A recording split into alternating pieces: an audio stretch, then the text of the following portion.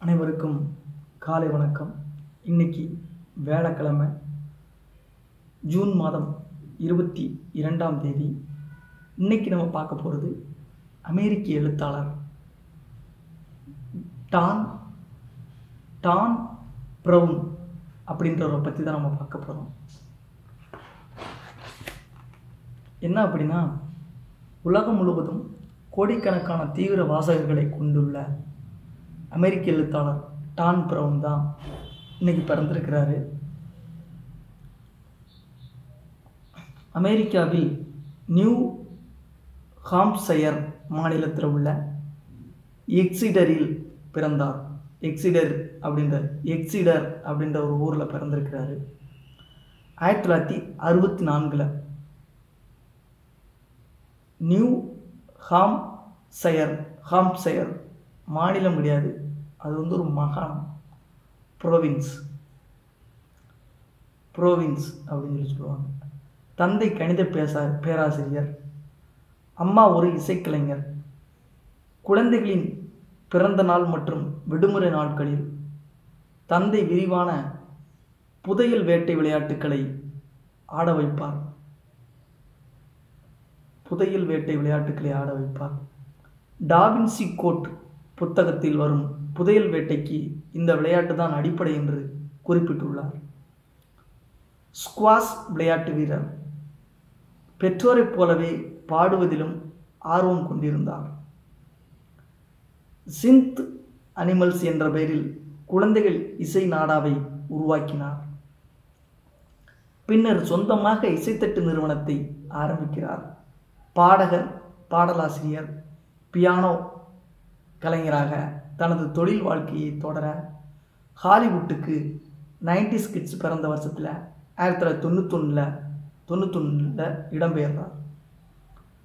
ஆயிரத்தி தொள்ளாயிரத்தி தொண்ணூற்றி மூணில் டான் ப்ரவுன் என்னும் குறுந்தகட்டை வெளியிட்டார். அடுத்த ஆண்டு ஏஞ்சல்ஸ் அண்டு டெமான்ஸ் என்ற தலைப்பில் ஒரு குறுந்தகட்டை வெளியிடுறார். சிடின்னு சொல்லுவாங்க. Compact disc. ஓவியர் ஜான் லாங்டன் இதில் உருவாக்கி தந்த அதே கலையெழுத்து வடிவம்தான். பின்னர் இதே தலைப்பில் இவர் எழுதிய புதினத்திலும் பயன்படுத்தப்பட்டது.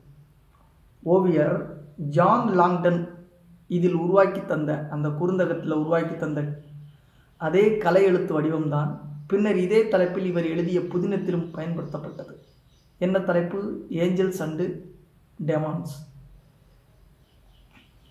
மீண்டும் சொந்த ஊருக்கே வந்த இவர் தான் கல்வி கற்ற அதே பள்ளியில் ஆசிரியராக பணிபுரிந்தார்.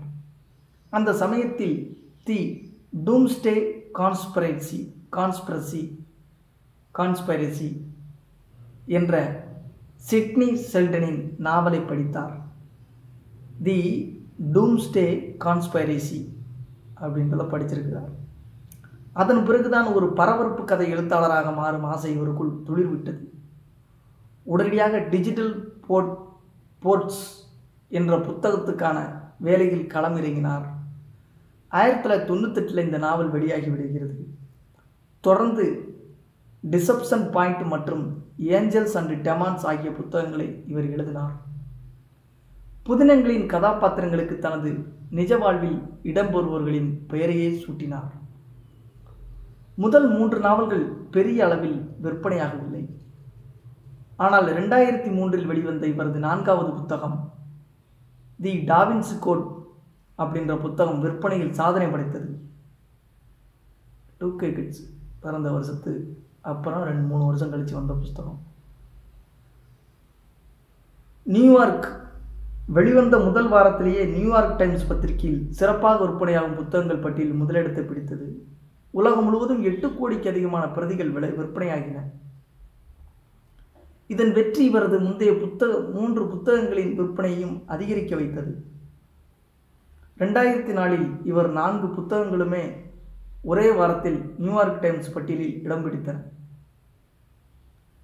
இவரது புதினங்கள் உலகம் முழுவதும் நாற்பதுக்கும் மேற்பட்ட மொழிகளில் மொழிபெயர்க்கப்பட்டுள்ளன. பணம் புகழும் இவருக்கு குவிகிறது. ஆரம்பத்தில் நகைச்சுவை கதைகளையும் எழுதி வந்துள்ளார். இவர் படைப்புகளில் வரலாறு கிறிஸ்தவம் தொடர்ந்து இடம்பெற்றிருக்கும் ஒரு படைப்பை உருவாக்குவதற்கு ஏறக்குறைய ரெண்டு ஆண்டுகள் அதற்கான ஆய்வுகளை மேற்கொள்வார். தொடர்ந்து பல நாவல்கள் வெளிவந்தன. காலை நான்கு மணிக்கு எழுந்தால் எந்த கவனச்சிதறலும் இருக்காது என்பதுடன் என்பதுடன் தனது எழுதும் திறன் உச்சத்தில் இருக்கும் என்று கூறியுள்ளார். கொலம்பியா பிக்சர்ஸ் நிறுவனம் தயாரிப்பில் தி டாவின்ஸ் கோட் திரைப்படமாக வெளிவந்தது. பல நாடுகளில் சர்ச்சைகளையும் எதிர்பார்ப்புகளையும் எதிர்ப்புகளையும் சந்தித்த இந்த படம் உலகம் முழுவதும் எழுநூத்தம்பது மில்லியன் டாலர் வசூலை குவித்தது. ஒரு மில்லியன் அப்படின்னா பத்து லட்சம். ஒரு மில்லியன் டாலர் அப்படின்னா அதாவது ஒரு டாலர் அப்படின்னா எண்பது ரூபா. அப்போ இரநூத்தம்பது மில்லியன்னா பார்த்துக்குங்க ஒரு மில்லியன்னா பத்து லட்சம் என்பதும் குறிப்பிடத்தக்கது. இதில் வந்து இரநூத்தம்பது மில்லியன் டாலரை குவிச்சிருக்கு. தொடர்ந்து எழுதி வரும் டான் பிரவுன் தன் சகோதரருடன் இணைந்து ஏழை மாணவர்களுக்காக பல நலத்திட்டங்களை செயல்படுத்தி வருகிறார் என்று ஆயிரத்தி தொள்ளாயிரத்தி அறுபத்தி நாலில் பிறந்த இவரை பற்றி இந்த புத்தகம் குறிப்பிடுகிறது. அதுவும் ரெண்டாயிரத்தி ஐந்தாம் ஆண்டு இவரை பற்றி இந்த குறிப்பு எழுதப்பட்டுள்ளது. கிட்டத்தட்ட ரெண்டாயிரத்தி பதினைந்தாம் ஆண்டு எழுதப்பட்டுள்ளது.